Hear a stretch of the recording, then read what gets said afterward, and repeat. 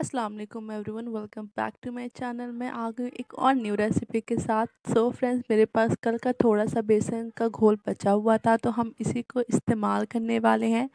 और नया मतलब कि जो चीज़ है, उसको ही हम रीयूज़ करेंगे। तो मेरे पास थोड़ा सा बेसन था। मुझे कुछ चीज़ें बनानी थी तो मैंने सोचा इसी को मैं यूज़ करूँगी। तो मैंने तीन चम्मच बेसन लिया है। मैंने डाला है इसमें दो डेढ़ चम्मच मैदा डाला है क्योंकि तीन चम्मच मैंने बेसन लिया था क्योंकि ऑलरेडी बेसन का घोल था। अगर आप पाँच चम्मच बेसन ले रहे हो तो डेढ़ से दो चम्मच आपको मैदा लेना है क्योंकि मैदा बहुत क्रिस्पी करता है किसी भी चीज़ को इसलिए और बैटर में थिक हो जाता है। फिर उसमें मैंने डाला है ज़ीरा नमक मिर्च। ठीक है मिर्च आप कोई से भी यूज़ कर सकते हो, बस फिर इसका अच्छा सा थिक सा बैटर बना लेना है। क्योंकि हमने इसे मैदे को ना रेस्ट देना है। जितना ज़्यादा आप इसे आराम दोगे, उतना अच्छा सा एक घोल बन के रेडी होता है। तो मैंने इसमें थोड़ा सा और पानी ऐड किया। आप देख सकते हो कितना गाढ़ा है ये अभी।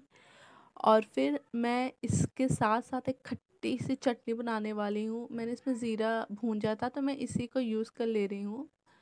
तो यहाँ पे मैंने पुदीना लिया है। जितनी क्वांटिटी में आप पुदीना लोगे ना फ्रेंड्स उसका हाफ़ आपको लेना है धनिया। धनिया से स्मेल बहुत अच्छी आती है और पुदीना खट्टा करेगा इसलिए और तीखे के लिए हम मिर्ची यूज़ कर रहे हैं। हरी मिर्ची ज़्यादा तीखी नहीं है। आप कितना मिर्ची खाते हो उस हिसाब से मिर्ची को लेना, ठीक है? और सबसे मेन है दही। मैंने पाँच चम्मच नॉर्मल जो चम्मच होता है उससे दही ली है। दही क्यों डाल ली है ताकि हमारी जो चटनी है वो थिक हो जाए? आइस हमने क्यों डाला है? क्योंकि चटनी जितनी ठंडी होगी, उतनी ज़्यादा ओरिजिनल कलर में वो रहेगी। क्योंकि मिक्सी जार में जब आप कोई चीज़ डालते हो ना, स्पेशली चटनी तो वो गर्म से वो काली पड़ने लगती है। इसलिए चटनी को आप हमेशा ठंडी ही रखिएगा। जितनी ठंडी वो रहेगी, उतनी ओरिजिनल वो रहेगी। साथ ही साथ हम किचन को भी अपने क्लीन करते जा रहे हैं। और यहाँ पे मैंने लिया एक बड़ी साइज़ की आलू। आलू बड़े साइज़ की मैंने इसलिए ली है ताकि इसके जो स्लाइसेस जो पीसेस कटेंगे ना, वो बहुत अच्छे होंगे। छोटे आलू के छोटे होंगे।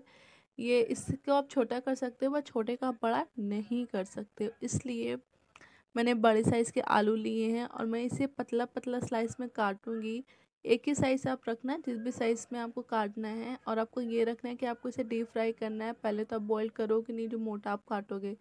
तो मैं कुछ कुछ कुछ ज़्यादा ही पतला करने के चक्कर में बीच से टुक कुट मतलब टूट भी रहे थे।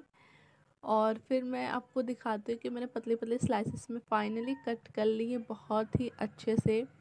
और फिर हमने इसे दो तीन पानी से बहुत अच्छे से वॉश करना है। सारे आलू को काट लेना है। एक ही आलू मैंने लिया था। मैंने आपको पहले भी बताया अब मैंने बड़े साइज़ के आलू लिए, इसी से बहुत सारे हो जाएँगे। फिर हमने बहुत अच्छे से इसको वॉश करना है वॉश दो तीन पानी से करना है हमने। जब आप दो तीन पानी से कर लोगे ना तो आप इसी पानी में रखे रहने देना है। उससे क्या होगा ना, ये सॉफ्ट रहेंगे, काले नहीं पड़ेंगे। तो अब हम अपने बेसन को देख लेना है। बेसन भी हमारा ठीक है तो अब हम इसमें मेन इंग्रेडिएंट हरी धनिया डालेंगे। हरी धनिया से क्या होता है ना, जब पकौड़े आपके फूलेंगे ना तो ग्रीन ग्रीन अंदर से ग्रीन और येलो दिखेंगे और लाल मिर्च का वो लालपन वो दिखेगा बहुत अच्छा लगता है। तो बस आलू में हमारे ऑलरेडी थोड़ा सा पानी था तो बस हमने इसे अच्छे से मिक्स करना है। मिक्स करने के बाद फ़ौर हमें इसे फ्राई करना है।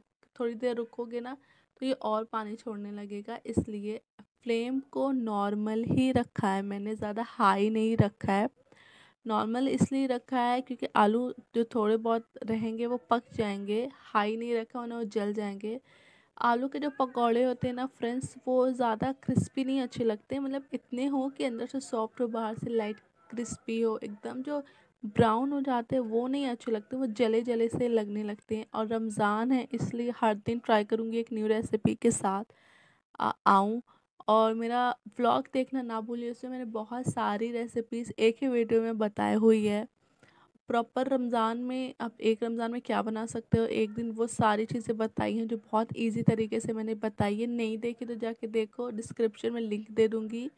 और वहाँ नहीं दिया तो चैनल पे जाके मैंने देखो, ज़रूर मिल जाएगी, ठीक है? बस हमारे पकौड़े भी क्रिस्पी एकदम रेडी हो चुके हैं।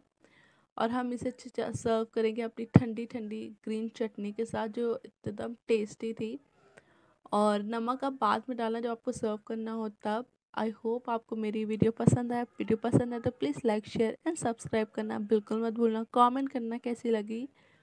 और बस, ऐसी सिंपल सी रेसिपी लाती रहूँगी। फ्रेंड्स कमेंट ज़रूर करना और सब्सक्राइब करना तो बिल्कुल मत भूलना। इस साल का टारगेट है टेन के सब्सक्राइबर और मोनेटाइज कराना है, ठीक है? सपोर्ट करो यार। चलो मिलते हैं नेक्स्ट वीडियो में। Like share and subscribe